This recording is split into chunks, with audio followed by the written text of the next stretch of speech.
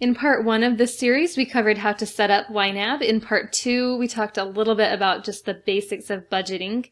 And now in part three, we're ready to really jump into the logistics of budgeting with YNAB on an ongoing basis. The key to using YNAB successfully is to remember that the purpose of YNAB is not to restrict or to limit you, but simply to assign all of your current and incoming dollars to specific tasks. So it's really about just being intentional with your spending. The best way to show you how to budget in YNAB is to just go through an example. So we're going to continue with um, what we have started in the previous parts. This is an example budget. It's not my own budget, but I believe it's a pretty typical um, situation.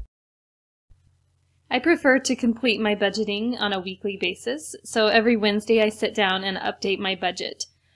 There are two main functions that I achieve with this weekly budgeting session. The first one is to determine where my money went during the past week.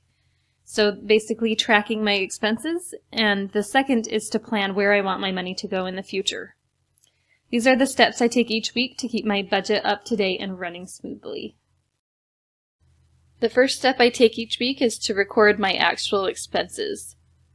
So it is possible to manually enter all your transactions in YNAB, and some people choose to do so. But my preference is to link my YNAB account to all of my bank and credit card accounts, and then I can just quickly import all my expenses. I usually go through this process one account at a time, so um, generally you'd have a cash account as well on here, and then you'd go through checking, savings, and then your credit card accounts one at a time, and balance them to the balance that your bank is actually showing online. So let's go through, we'll look at the credit card account first. We can add a transaction and we're going to say it's January 1st and we're going to pay this to the bank. And this is going to be the mortgage or rent. We'll say it's a mortgage. The outflow here um, that we have previously budgeted in the last part is 1650 and we'll hit save. So again, if it was linked and that had already occurred, we could have just imported it there. And I'll show you an example of that in a minute. To show an example of a split transaction, I'm going to go ahead and put um, groceries in here. So we type in the pay, and then under the category, you just hit split multiple categories. And we'll say that's to the grocery store. Part of it was for groceries and then part of it was for clothing. Say you needed to buy some socks or something. First you want to put in the total balance. So we'll just make up a balance there and then write which part was for groceries and it'll give you the remaining amount on this the bottom here. So then we can make sure that we are balanced and just hit save. So it's as easy as that. I want to show real quick how you import transactions. So if we go to this Amazon card, we'll see that there's two new transactions to import here on the top. You can just click that button and then you'll see that there are two purchases both from Amazon.com. And in this case, the category is filled out. And if you're brand new to YNAB, this will be blank and it will prompt you to assign it to a category. You can see I've entered the remaining transactions here. The next thing I would do is to check them against my bank account balance online and then clear them on the right hand side here. If I import transactions like I did with the credit card, it will automatically clear them because it is coming directly from the bank information. If you have pending transactions, that's the ones you will want to enter manually so that your budget is up to date. So we'll assume maybe there's a pending transaction for gas to show you what that looks like, and it's for $25.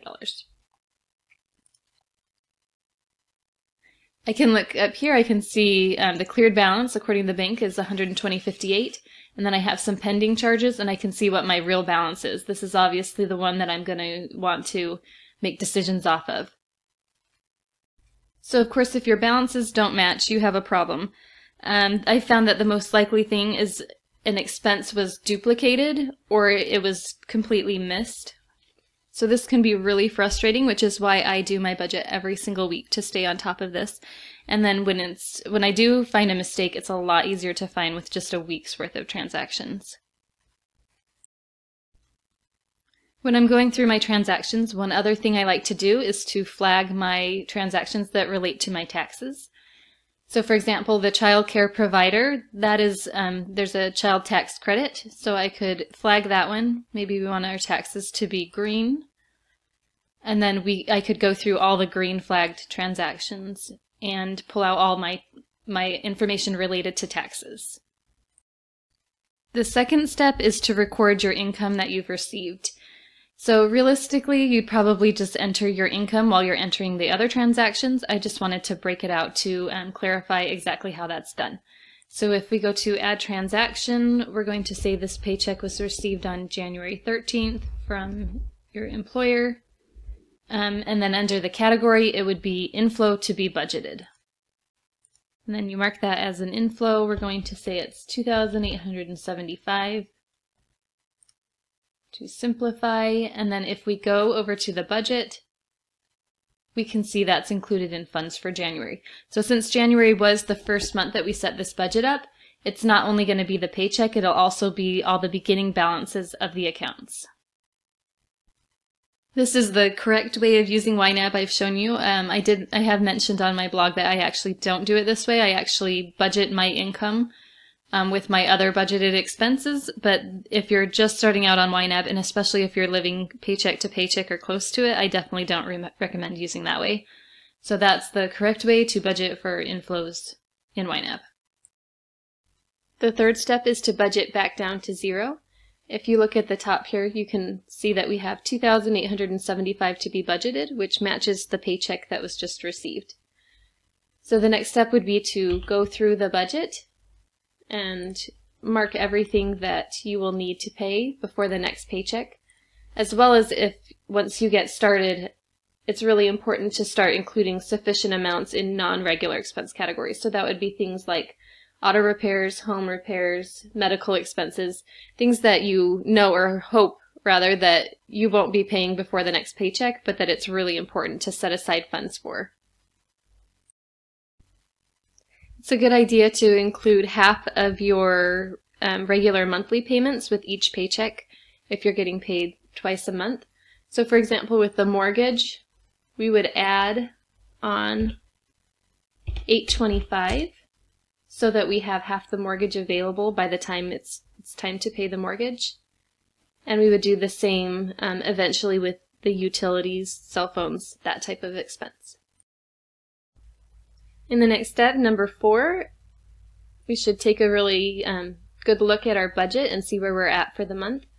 Um, this is the step of moving money around when we need it. So if we go through, we can look at the budget just line by line and make sure that what we have available really makes sense, um, like for the end of the month. So one example that I use is I always look at my grocery budget and if I have, it's halfway through the month and I've already spent like three quarters of my grocery budget, I add a little bit to the, the grocery balance um, because I'm trying not to set myself up for failure.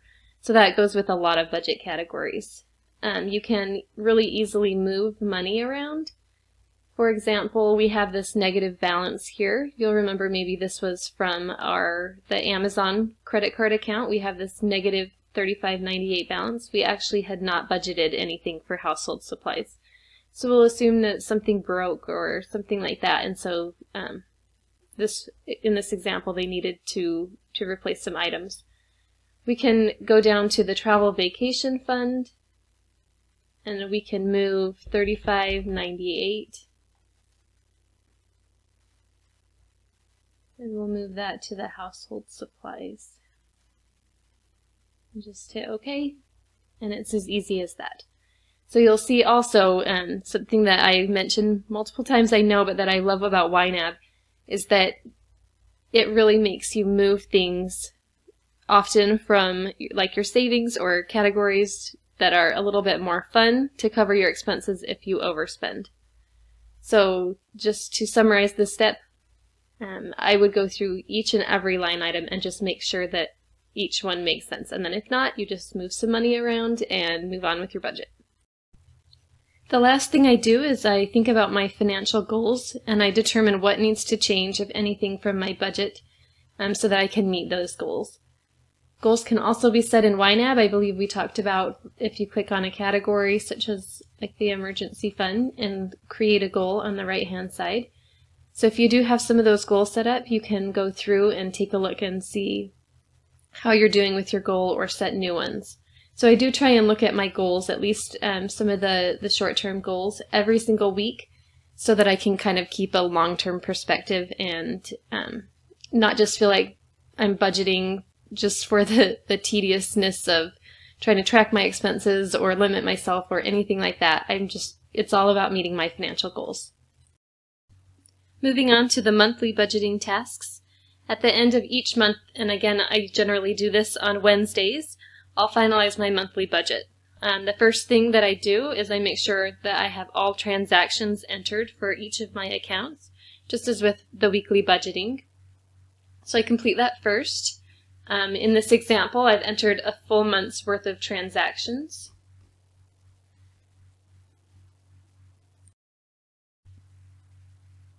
The next thing I do is I go back to the budget and I go line by line through each and every budget item and determine whether the available balance is sufficient for the next um, month before the next paycheck arrives. And also, I just I move money around as we discussed before. So if the ending budget balance is less than zero, we'll go down here to an example. In this example, we overspent a little bit on clothing. So what we need to do is we need to increase the budget amount for that category at least to the amount that was actually spent. So we'll go ahead and we'll put in 121.14. Of course, another way to do this is to move money from another account, but I'm not quite sure where I want to move it from, so I'm just going to go ahead and manually enter it in. And then we'll do the same with books and subscriptions. So we can go through through each and every account and um, kind of pick out those things. I'm not going to do that right now because that's super boring, but we'll go ahead and we'll just move some money around here. We'll we'll say that we don't we're not going to spend anything else on miscellaneous. And the last little bit we'll have to take from travel and vacation to even out our budget for the month. So we would do this a little bit more detailed, obviously, um, but you should go through each and every single account and determine whether this available balance is sufficient. So of course it's really important that at the end of the month you check this balance to be budgeted again and ensure that that, budget, that to be budgeted balance is zero. As a quick note, YNAB does not carry forward negative balances here in the available balance. If you'd like a quick summary of my weekly and monthly budgeting tasks, you can go to my blog www.makingyourmoneymatter.com and I have a printable you can use to go through your budgeting each week and each month. While this may seem like a lot of work, within just a couple of months of using YNAB, you'll have your own system down and it will go a lot quicker. You just need to make sure that you work on it on a regular basis. Like I said, I suggest working on it every single week. And I'm willing to bet that if you do use YNAB and you stick with it and learn the ropes, that you are likely to have more saved than you ever have before. The next part in this YNAB series will cover how to calculate your net worth in YNAB, including setting up and using tracking accounts.